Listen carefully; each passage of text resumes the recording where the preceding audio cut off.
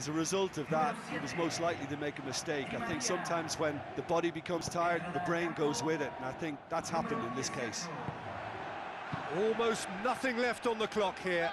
Extra time is imminent, unless something dramatic happens now. Mascherano pumps it into the area. Oh, it's gone in! Oh, they'll really be kicking themselves after conceding a goal like that.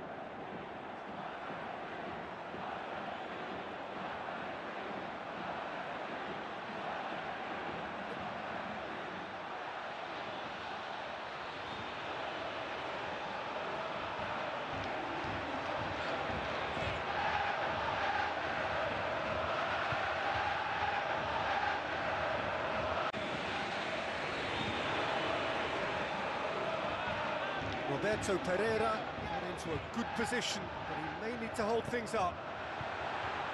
It's gone in! He's put through his own net!